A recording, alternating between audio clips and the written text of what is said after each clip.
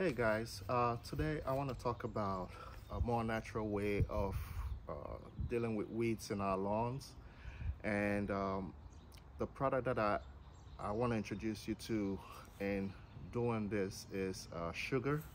It's natural sugar.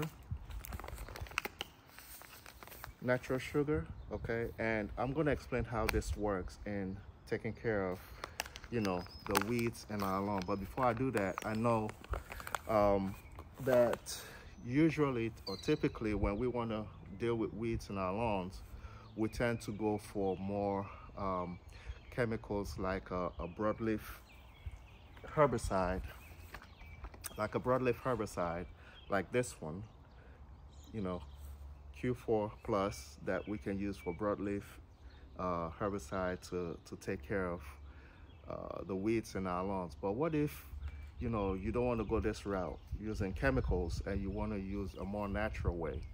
That's when the sugar comes in, in into play when I talk about, you know, taking care of weeds more naturally. But how does sugar works? So when you add sugar to your lawn where you have weeds, it kind of suppresses the um, the weeds and increase microbial activity in the soil, which competes with the weeds. Now, sugar doesn't have any nitrogen in it. So what that does is it increases microbial activity and kind of suppress the weeds from actually growing. So that's how, you know, you, when you use sugar, you kind of like uh, suppress the weeds from, you know, from growing. Now, I will say this, if you have a salad bar, and what I mean by salad bar is if you have a bunch of weeds all around your yard, then I would not recommend you using the sugar to kind of suppress the weeds just for the simple fact that you know it's natural. It takes it will take probably take longer for that to happen. I don't really know uh, the time frame for killing these weeds. Now, and it's not all the weeds that uh, will be suppressed by you using sugar. The only weeds that can uh, that sugar can suppress is the uh, broadleaf uh, weeds and the annual weeds.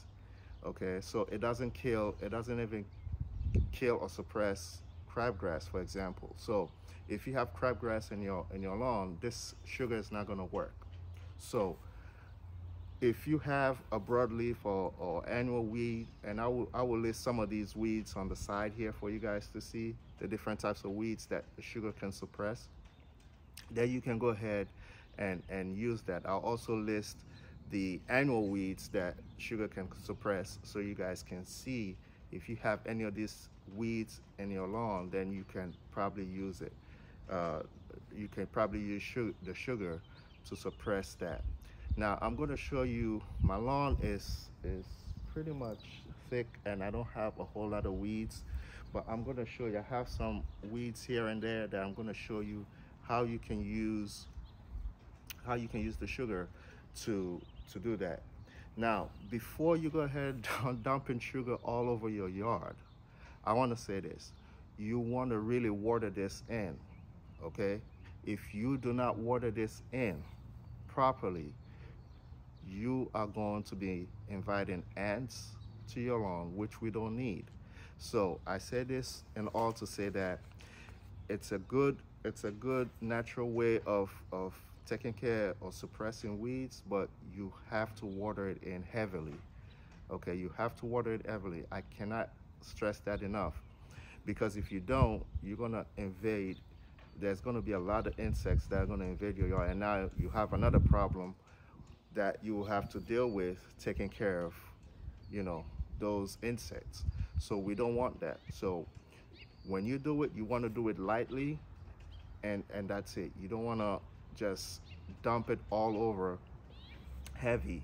And even if you do that heavily, you want to water this in. Now, there are two ways you can do you can you can spread this around you can use a, a, a, a spreader and and put one cup of sugar into So it'll be one cup for every 1,000 square feet, okay? Because you're putting it lightly, you're not dumping a whole bunch. So if you want to use a spreader, that is if you have uh, uh, not a, if you have if you have weeds, I'll say about 25% of your yard is is weeds, then you want to use a broadcast spreader and put one cup per thousand square feet. And then just spread it just like the way you spread a granular or, or any type of fertilizer in your lawn okay? Now if you have weeds here and there it's not a whole bunch like the way I do and I'll show you in a few minutes you can just use your hand okay all you do is pour some on your hand and just sprinkle it around now I have some weeds in the front also that uh, we will do a test on. I'll just sprinkle a couple of these uh, sugar around and, and, and then just water it in. All right, guys, so this is a, a typical weed here that I have. Um, I did cut my grass down yesterday, so you know most of it is is is been cut off. But as you can see, I have this weed right here, which um, I can't really identify. I'm not good at identifying weeds, but pretty much what you do is you want to just sprinkle a little bit like that. Okay.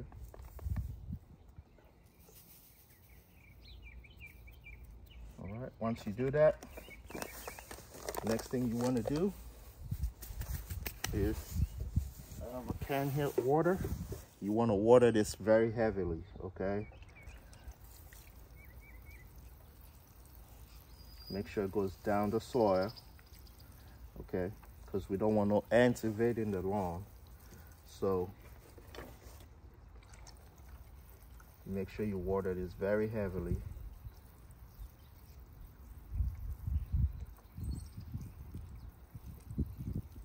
That's pretty much it. All right guys so that's the front area right here. And as you can see weeds all over this sidewalk here. So basically what we're gonna do is just sprinkle.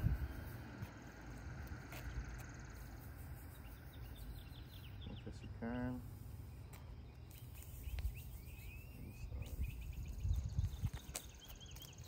Now maybe I will do a I will do a follow-up on this. Um, as far as how long this would take, um, I don't know for it to suppress or kill these weeds right here.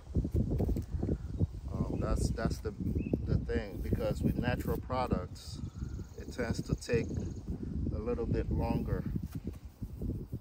So I'm not sure how long this will take um, I guess every depending on the weed or the type of weeds you have uh, will determine how long it takes to to get rid of it. Natural products tend to take longer. So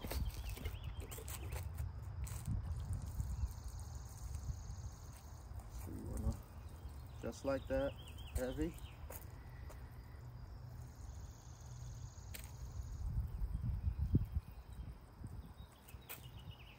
Now, if you have, I'll say 25% of your lawn is covered with weeds, then you want to turn your sprinkler on for about, I'll say, with this, I'll say at least an hour. Yes an hour because you want this sugar to go deep down into the soil and not attract ants. That is the that is the, the big big thing that we're trying to avoid. You do not want to attract ants.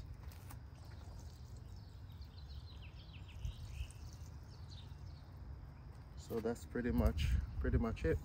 I'm gonna fill this up again and I'm gonna come back in and water this whole thing down because I really wanted to get down deep down the soil.